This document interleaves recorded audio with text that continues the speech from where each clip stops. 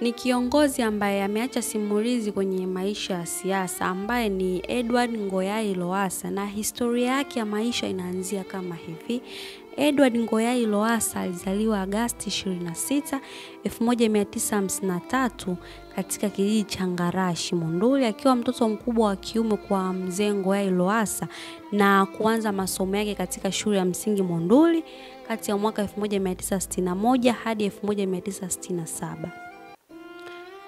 Kisha akaendelea kwenye shule ya sekondari ya Arusha kwa kidato cha kwanza mpaka cha nne kati ya mwaka 1968 hadi mwaka 1971 na kisha kumalizia kidato cha tano na kidato cha sita katika shule ya sekondari Milambo mkoani Tabora.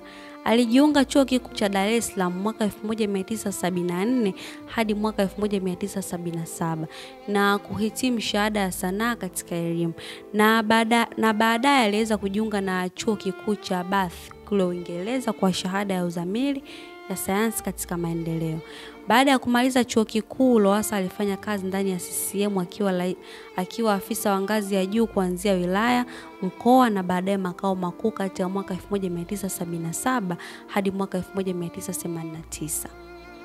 Lowassa aliwahi pia kutumikia jeshi la Tanzania na hata kupigana katika vita kati ya Tanzania na Uganda. Vita hiyo iliyopelekea gaidi Idi kuondolewa madarakani juu ya uongozi wake wa kidikteta. Pia Edward Ngoyai Lowassa aliajiliwa kuwa mkurugenzi mtendaji wa kituo cha mikutano ya kimataifa kule jijini Arusha ambapo kinaitwa AICC mwaka 1989 hadi mwaka 1990. Lowassa alichaguliwa kuwa mbunge kupitia kundi la vijana ndani ya CCM na akashikilia nafasi hiyo kati ya mwaka 1990 hadi mwaka 1995 na mwaka 1993 aliteuliwa kuwa, aliteuliwa kuwa waziri mkuu wa nchi ofisi ya waziri mkuu na makamu wa kwanza wa rais. Haki na mambo ya bunge.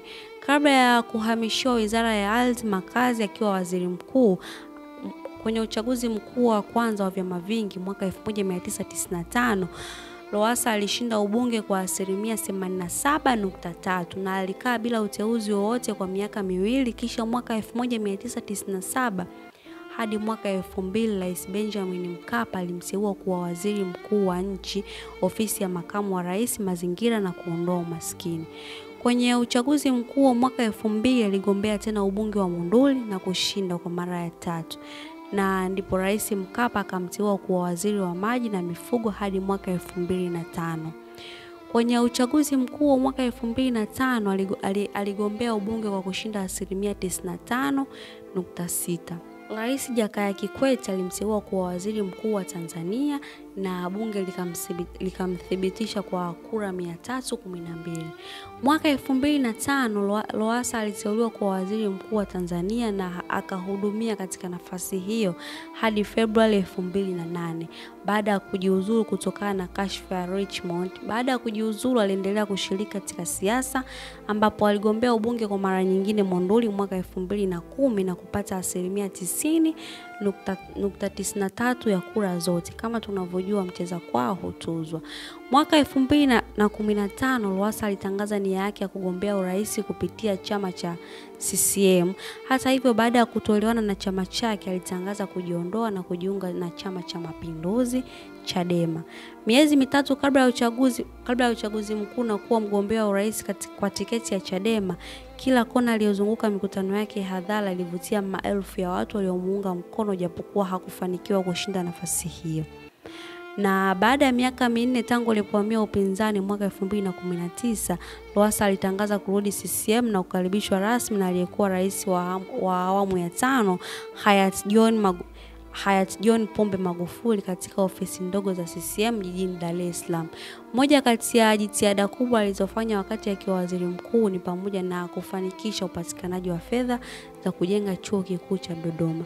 Lowassa ameanza kuugua tangu Januari 14, 2022 na kupata matibabu katika taasisi ya moyo ya Jakaya Kikwete na baadaye kupelekwa Afrika Kusini kwa ajili ya matibabu zaidi na kisha kurejea tena katika taasisi ya moyo ya Jakaya Kikwete ambapo ndipo alipofikwa na umauti. Tunaweza tukasema Bwana ametoa, Bwana ametoa, jina lake lihimidiwe. Kwa upande wa ndugu zetu hapa waislam tunaweza tukasema waina lillahi wa inna hakika sote ni wamola na kwake tutarejea. Na Loasa ameacha mke pamoja na watoto watano, na hiyo ndiyo historia ya maisha ya Edward Ngoyai Loasa, na safari yake ya kuondoka duniani imefika mwisho siku ya tarehe kumi mwezi Februari elfu mbili na ishirini na nne.